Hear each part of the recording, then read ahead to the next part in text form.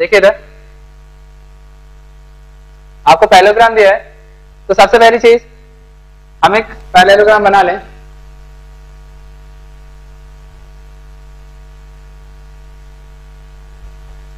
देखिए इसे हम ए बी सी डी अब सबसे पहले डायरेक्शन यहाँ पे सबसे ज़्यादा इंपॉर्टेंट हो जाता है डायरेक्शन हमने कहा है क्योंकि पैलोग्राम बना रहे हैं तो उसमें जो अपोजिट साइड्स होती है, वो पैरेलल होती हैं।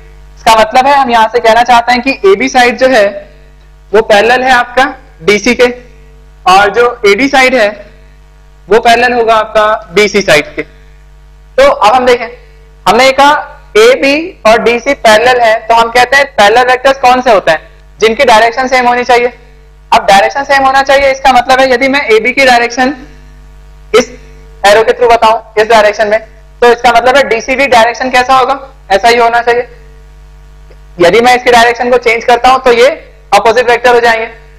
और हमें बताना है कि ये दोनों कैसे हैं पैरेलल है।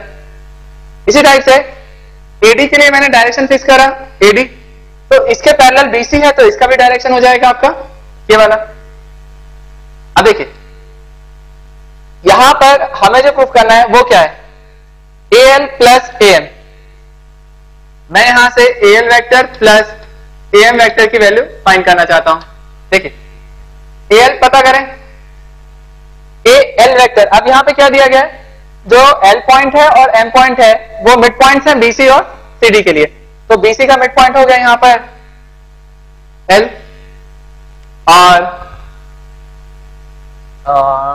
सीडी सीडी के लिए यहाँ पे मिड पॉइंट है आपका एम देखिए आपको ए एल वैक्टर चाहिए ना? ए एल वैक्टर कैसे मिलेगा? जब हम इस ए वैक्टर को एल वैक्टर से ज्वाइन करें और एक चीज़ का ध्यान रखें विशेष। ए एल मतलब वेक्टर जो है वो हमारा कहा? ए टू एल है। मतलब एरो की जो डायरेक्शन होगी वो ए टू एल है। तो हम क्या करें? सबसे पहले ए को एल से ज्वाइन करें। और इसकी डायरेक्शन है ए एल तो यदि मैं इस वाले ट्राइंगल में ट्राइंगल लॉ लगाने जाऊँ तो बताओ मुझे, मैं ऐसा कह सकता हूँ कि ए बी की डायरेक्शन ये है, ये बी एल की डायरेक्शन है, और ये उसके अपोजिट होना था। तो ये उसके अपोजिट है भी तो हम यदि ट्राइंगल लॉ लगाए तो क्या हम यहाँ से ऐसा कह सकते हैं?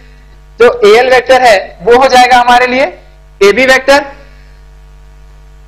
plus B L vector triangle law के थ्रू देखिए, इस ट्राइंगल को बस देखो।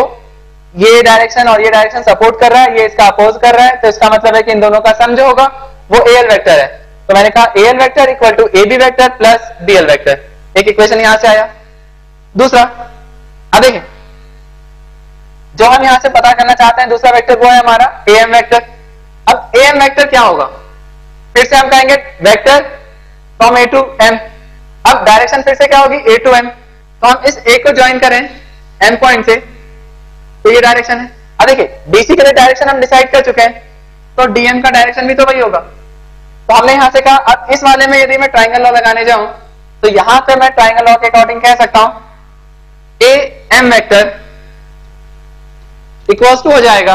देखिए ए एम वेक्टर अब इस ट्राइंगल में एडी और डीएम जो है वो सपोर्ट कर रहे हैं डायरेक्शन को, और ए एम जो है उसका अपोज कर रहा है। तो ए एम इक्वल टू होगा एडी प्लस डीएम वेक्टर इन दोनों की वैल्यू हम यहाँ रख देते हैं। तो हमने कहा A L plus A M हमें पता करना था। ए एल इक्वल टू हो गया A B plus DL plus A M की जगह रख सकते हैं हम ए डी प्लस डी अब सोचिए कभी भी प्रॉब्लम्स को करने जाएँ तो जरा एक बार ये ध्यान रखें कि प्रॉब्लम में हमें दिया क्या गया, हमें लाना क्या है। तो उसके अकॉर्डिंग हम स्टेप लेते हैं। यहाँ पे हमें जो वैल्यू प्रूफ करना है वो क्या है? Equal to k times of AC मतलब मुझे एसी वेक्टर चाहिए। जरा हम एक बार सोचें एसी वेक्टर होगा क्या? यहाँ पर यदि मैं एसी वेक्टर की बात करने जाऊँ तो एसी वेक्टर जो है, इस एसी वेक्टर को मैं यहाँ से लिख सकता हूँ।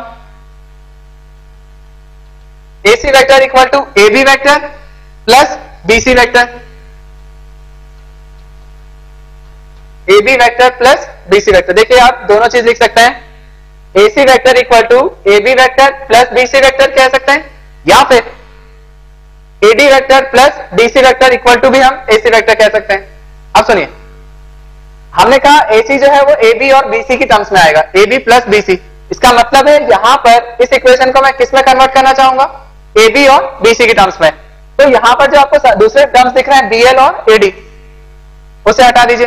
देखिए ए बी तो हमें चाहिए तो हम इसको ए बी को ए बी रहने दें। प्लस आपको बीसी चाहिए था, और बीसी हमें यहाँ पे नहीं दिख रहा है। अब देखिए बीसी कैसे लेके आए? यदि हम बीसी साइड को लाना चाहते तो हम क्या कह सकते हैं? देखिए, ये जो बीएल साइड है, क्या इस बीएल को मैं लिख सकता हूँ यहाँ से? बीसी बाय टू देखिए, हमने कहा, ये बीएल बीसी है पूरा। और जो था उसका मिड पॉइंट था? तो हम कह सकते हैं B L equal to BC by two तो यहाँ से मैंने इसे लिख दिया बीसी बाय टू प्लस इस एडी को, मैं एडी को हटाना चाहता हूँ और मुझे आंसर किसमें चाहिए? एबी और बीसी में। तो देखो, ये जो एडी है, क्या ये एडी इसके पैरेलल वेक्टर है? और इक्वल वेक्टर भी है। तो मैं इस एडी के जगह पे मैं लिख सकता हूँ बीसी वेक्टर तो मैं इस एडी को चेंज करता हूँ यहाँ पे बीसी वेक्टर से प्लस डीएम डीएम को भी मुझे हटाना है, या तो मैं एबी में कन्वर्ट करूँगा या बीसी में। अब देखिए, यहाँ से यदि मैं डीएम की बात करने जाऊँ तो डीएम जो है, वो डीसी का मिड पॉइंट है। तो मैं इसे लिख सकता हूँ डीसी बाय टू अब देखिए, यहाँ पे मिला मुझे A B vector plus DC by two plus BC तो ये हो गया three by two DC vector plus अब देख ये जो डीसी है, जो डीसी वेक्टर है, वो वेक्टर एबी के पैरेलल है और इक्वल वेक्टर होगा। तो डीसी की जगह मैं ए बी लिख सकता हूँ यहाँ से। तो मैंने इसे लिख दिया। ए बी बाय टू तो A B plus A B by two तो फाइनली मुझे मिल रहा है यहाँ से three by two A B plus यहाँ से थ्री बाय टू बीसी हम थ्री बाय टू कॉमन ले लें। तो हमें ब्रैकेट में मिलता है ए बी प्लस बीसी और इस ए बी प्लस बीसी को मैं यहाँ से कह सकता हूँ। इसे हम इक्वेशन वन बोल दें। तो फॉर्म इक्वेशन वन